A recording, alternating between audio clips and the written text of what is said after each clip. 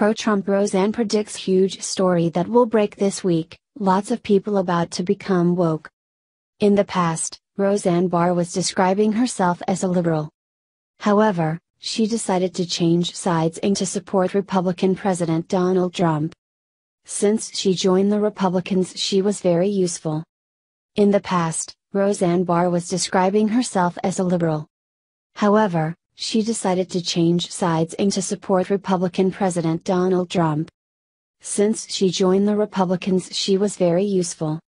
According to Conservative 101, she knows that the Americans have become very alienated from the Democrats. Roseanne had useful information to share with Trump and his administration because of her time with the left wing group, who constantly attack him and his ideology. She decided to come forward on Twitter and explain that President Trump is planning to use his power to do something about those children who were harassed by the Hollywood abusers. Roseanne wrote, Lots of PPL will become woke this week. She added, Trump opposes child trafficking and knows exactly where the locos is not many PPL are brave enough to know, or remember or contain the information most blank out. I perceived Hollywood's sexism to be so pervasive as to not even be noticed it was class-based discrimination, with racial undertones based in anti-Semitic soto-spiritual necropaedoism. Hash this is now, she claimed. Roseanne concluded, all that really matters is that we stop the suffering of the world's innocent children.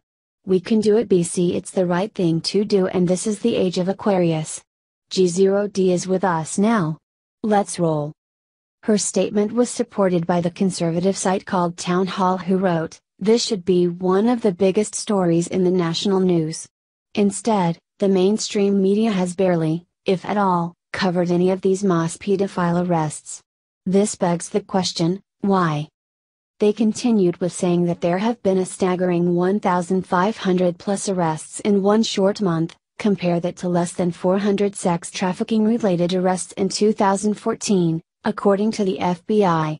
It's been clear to me for a while that Trump would make human trafficking a top priority.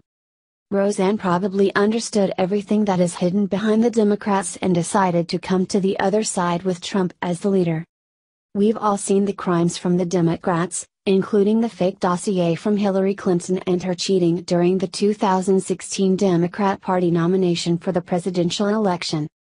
No wonder that Roseanne changed sides.